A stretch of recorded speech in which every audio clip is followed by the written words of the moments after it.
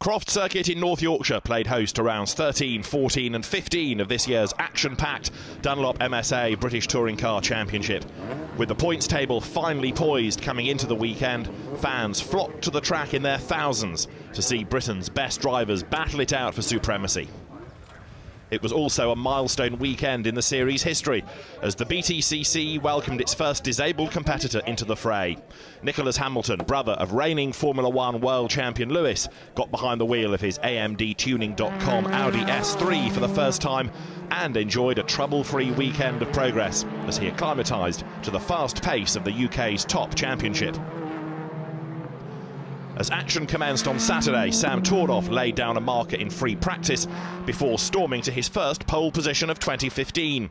The local driver just edged out WSR stablemate Andy Priaulx by 7 hundredths of a second. And it was almost a BMW 1-2-3 as Rob Collard was pipped by the Honda of Gordon Shedden for third.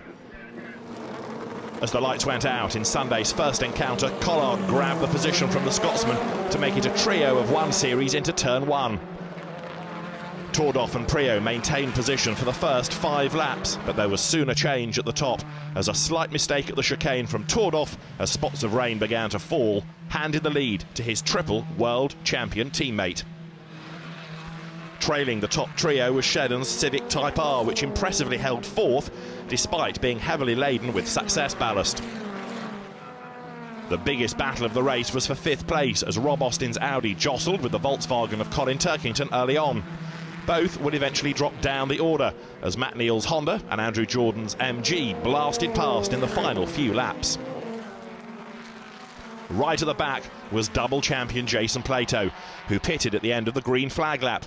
The plan was to sacrifice race one in order to set a fast lap and ultimately a good grid position for the second bout later in the afternoon. He would start that contest from third.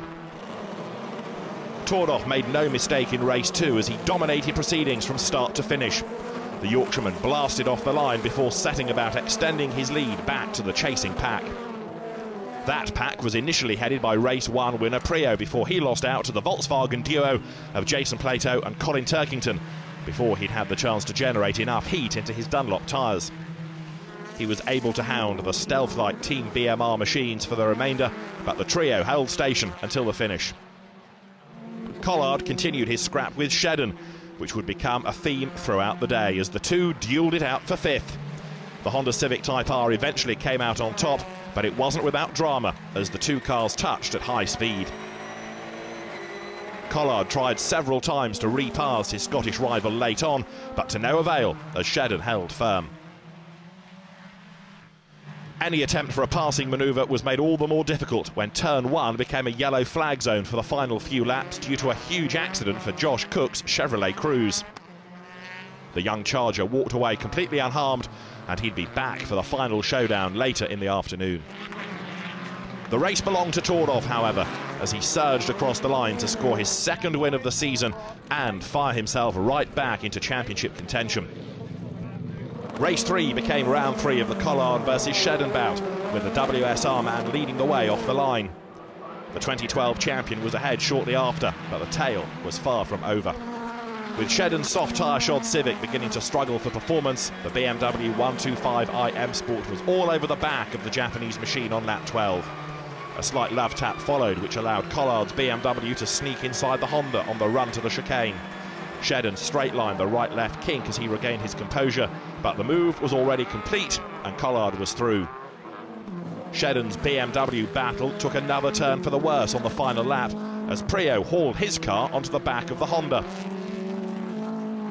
With Collard completing a joyful and historic hat-trick for WSR, there was more late celebration to come as Priaulx stole second from Shedden on the final corner of the final lap. It was far from a disaster for Shedden, however, as he has now moved into the championship lead at the midway stage of the season. BTCC's two newcomers saved their best until last, with Support Our Paras racing driver Max Coates taking 20th, while Nicholas Hamilton claimed 22nd. When heart rates had returned to normal, Louise Goodman caught up with race one winner Andy Priaulx as he reflected on his first BTCC win since his return to the series. Well, Andy, it's a, it's a weekend for you to savour. Your, your first win back here in British Touring Cars. Yeah, really good. Really happy to get that win done and dusted. You know, first four races were really good, but didn't get that win, and now I've got it. It sort of takes the pressure off a little bit. Obviously, it's, it's only going to get harder as the season continues, so I need more wins and keep pushing hard. Well, you've got a little bit of a break now to, to sort of savour the moment, but then obviously we're, we're on to Snetterton. How do you see things shaping up there? I think if it's anything like the last three or four races, it's difficult to pick a winner. It's going to be really tough. Um, the racing today, I think, has been great. I think Snetterton is going to make it, it the, the, nature of the circuit. Um, there's a lot more overtaking opportunities there. The new track is really, really good. So I expect it to be a really tough fight, and uh, I hope that we can be in the mix. But also, you can't you can't rule out Honda and VW. They're all going to be fast. There's 10 guys that can win races right now.